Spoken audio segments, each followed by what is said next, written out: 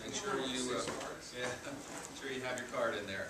Um, again, my name is Richard Vazquez. I'm with Artisan Insurance Group.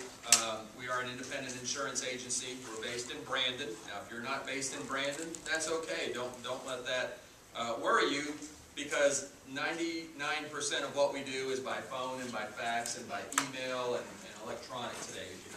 Customers aren't gonna, if you're in Pinellas County, your customers aren't gonna have to drive all the way to Brandon to deal with us. We can, we can certainly get them taken care of.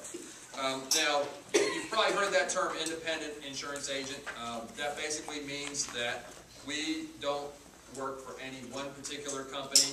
Um, We can work for as many companies as we like, and, and, and only those companies that we feel really are gonna take care of our customers.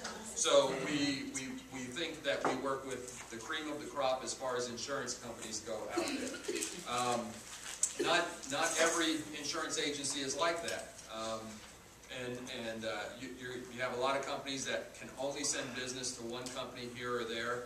Um, and, uh, and, and that kind of limits your customers and gives them fewer choices and probably will not allow them to get the best price and, and the best coverage. Now, as far as insurance goes, as, as a realtor, why do you even want to get involved with the insurance process?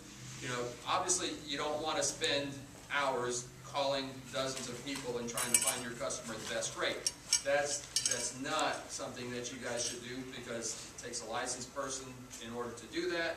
And Lord knows you guys as realtors are gonna have enough things to do. You're gonna be very busy, um, taking care of a lot of things. But, um, what you're gonna find, i- i- if you're new to the business, you're gonna find out very quickly that you're going to need to surround yourself with good people that can really help out your customers. Insurance agents, title companies like, like Clear Title, um, home inspectors, good mortgage companies. Now, you know, again, you don't, you don't wanna, you know, try to do the work for your customer and, and, and try to find them the best mortgage rate and try to find them the best, um, price on a home inspection. But you wanna be the source of the source and, and be able to go to your customers and say, look, I recommend these people. They, they, they specialize in working in the real estate transaction. They work with realtors a lot. They'll make, they'll make your life a lot easier. Um, With regards to insurance, if you had asked me a few years ago, I would have told you there's no such thing as an uninsurable property. But not anymore.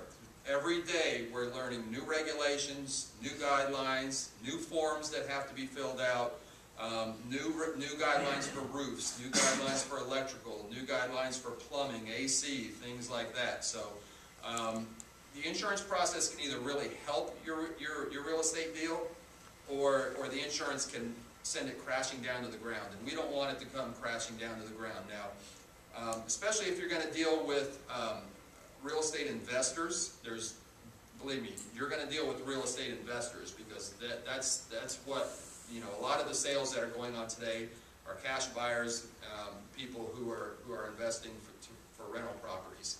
Um, real estate investors, most of them anyways, aren't buying the beautiful Clearwater Beach tiled roof built in 2010 house. Most of them are buying smaller um, rental properties, um, looking at price, and when they're looking at price, there are sometimes things that, that there's a reason that, that the houses are being sold so inexpensively. So you have to take into consideration things like the age of the roof and, and when was the electrical updated.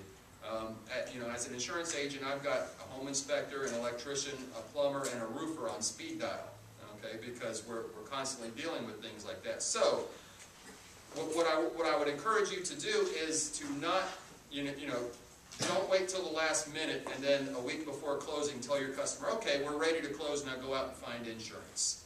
Because if you do that, you're setting yourself up for disaster. Again, you should have connections with reputable people in the, in, in, in the real estate transaction. And when it comes to insurance agents, if it's us, great. If it's, if it's not us, that's fine too.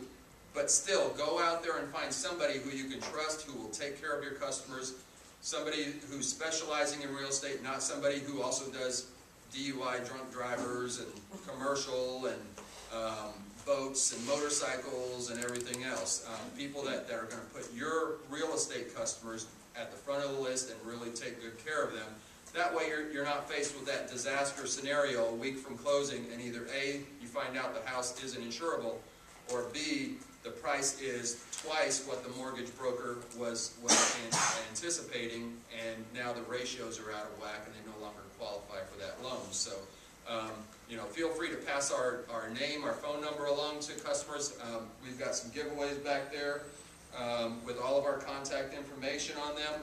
Um, Send us emails. If your customer's looking at three different houses in three different locations, just shoot me an email with an address on it. I get them every single day. Allow us to look at those houses. That way we can kind of troubleshoot them for you. So that if there are some issues here and there, you know, we can give you some idea on price on insurance so they know that it's not gonna um, torpedo their loan. And also, if there's some things that they need to look at, they can at least know going into the transaction that maybe there's some issues that are gonna need to be taken care of. And we can really help your deal along and, and, and, and help you close very smoothly. So, So you have an iPod to? I do. All right. So let's go ahead and hold the drawing. Did everybody get their card in there? Yes, I have some. Let's let an independent person go Well, that's me. Okay, all right, I don't have a card in there. okay. All right. Who is this? Maya? Oh, Okay, there you go. All right, thank you, Rich. Okay, now, what are we gonna do next? And like you, you said that you have three homes and you want people to cost you and all that, is there any charge? No. You wanna look at those? No charge whatsoever, and your customer doesn't pay for any of our services. Basically, we get paid a commission by the insurance company that we place the insurance with. Okay. So if we place it with company XYZ, if the price is the same no matter what, they just give us a small commission. All right. Okay, we are now going to preview a wonderful case financial